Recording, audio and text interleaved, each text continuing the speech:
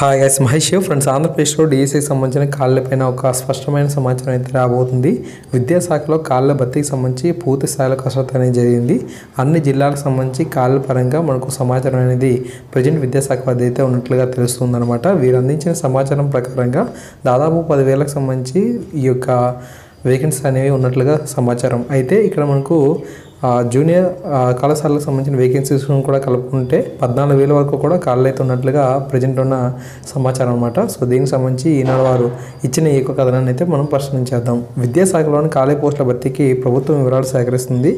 గత రెండు రోజులుగా అధికారులు దీనిపై కసరత్తునే చేస్తున్నారు ఇప్పటికే ఆర్థిక శాఖ అధికారులు నిర్వహించిన సమావేశంలో ఖాళీల వివరాలు సమర్పించారు. ఓకే ఆల్రెడీ వీరి వద్ద ఖాళీలకు సంబంధించిన పూర్తి స్థాయి ఇన్ఫర్మేషన్ అయితే ఉందన్నమాట. సమ సచివాలయంలో గురువారం విద్యాశాఖ అధికారులతో ప్రభుత్వ ప్రధాన కార్యదర్శి నీలం సాహ్ని సమావేశం నిర్వహించారు.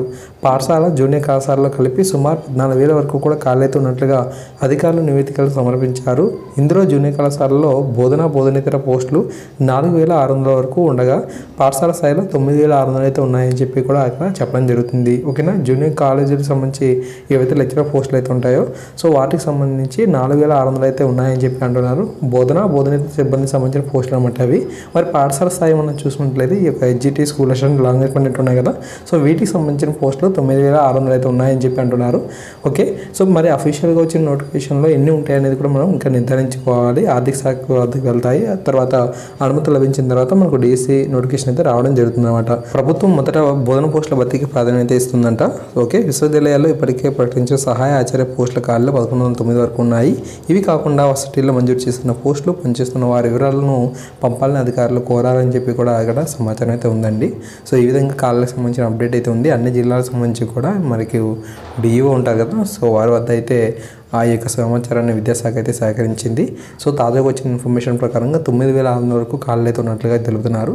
ఫర్ ఎగ్జాంపుల్ మీకు విశాఖ జిల్లాకు సంబంధించి తాజాగా వచ్చిన సమాచారం ప్రకారంగా ఎన్ని ఖాళీలు అయితే ఉన్నాయనేది ఇక్కడ మీకు చూపిస్తున్నాను విశాఖ జిల్లాకు సంబంధించి తాజాగా వచ్చిన ఇన్ఫర్మేషన్ ప్రకారంగా ఐదు వందల నలభై తొమ్మిది ఖాళీలు అనేవి ఉన్నట్లుగా డిఓ లింగేశ్వర రెడ్డి గారు తెలిపారన్నమాట.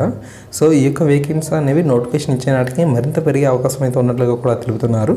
ఈ యొక్క విషయాన్ని అయితే గుర్తుంచుకోండి. తాజా సమాచారం ప్రకారంగా ఎడ్జిటి తెలుగుకు సంబంధించి నాలుగు వందల మెయిన్ పోస్టులు అయితే ఉన్నాయి. హెచ్జిటి ఉర్దూ రెండు ఉన్నాయి. తర్వాత మనకు లాంగ్వేజ్ పన్నెట్ ఉర్దూ సంబంధించి ఒకటి ఉంది. మ్యూజిక్ సంబంధించి ఒకటి ఉంది. డ్రాయింగ్ సంబంధించి పది పోస్టులు అయితే ఉన్నాయి. క్రాఫ్ట్కి సంబంధించి నాలుగు ఉన్నాయి. ఫిజికల్ సైన్స్ సంబంధించి స్కూల్ అసిస్టెంట్ రెండు ఉన్నాయి. స్కూల్ అసిస్టెంట్ బయాలజికల్ సైన్స్ పంతొమ్మిది ఉన్నాయి. స్కూల్ అసిస్టెంట్ సోషల్ స్టడీస్ పదకొండు ఉన్నాయి. స్కూల్ అసిస్టెంట్ గణితం ఆరు ఉన్నాయి. స్కూల్ అసిస్టెంట్ ఇంగ్లీష్ అనే ఐదు ఉన్నాయి. మ్యాక్సిమం ఇవే ఉండొచ్చు. కానీ ఇంతకన్నా ఎక్కువ పోస్టులు కూడా ఆ యొక్క నోటిఫికేషన్ సమయానికి వచ్చే అవకాశం కూడా లేకపోలేదు. ఓకే. అన్ని జిల్లాలకు సంబంధించి కూడా కాలపరంగా సమాచారం అనేది వివిధ దినపత్రికల్లో వచ్చాయి. సో వాటిని మీకు వన్ బై వన్ వీడియోస్ అనేది మీకు అందించడం జరుగుతుంది. తప్పకుండా వాటిని మిస్ అయితే అవ్వద్దు. మ్యాక్సిమం ఇవే ఉంటాయి. అఫీషియల్గా నోటిఫికేషన్ రావడానికి కొంచెం సమయం అయితే పడుతుంది. అండ్ ఎగ్జామ్స్ అనేవి మనకు వేసే సెల్లో అయితే ఉండేందుకు అవకాశం అయితే ఉందని చెప్పి అంటున్నారు. అంతేకాకుండా డిఎస్సి కంటే ముందుగా టెట్ నోటిఫికేషన్ కూడా ఉంటుందని చెప్పి కూడా తెలిపారు కాబట్టి మనం ఈ యొక్క విషయాన్ని దృష్టిలో ఉంచుకోవాలి. ఇంగ్లీష్ మీడియం స్కూల్స్ కూడా వస్తున్న నేపథ్యంలో మనకు ఇంగ్లీష్ మీద బాగా ప్రా ప్రాధాన్యత అనేది మనకు ఉండబోతుంది. సో ఈ యొక్క విషయాన్ని కూడా గుర్తుంచుకోండి. ఓకేనా?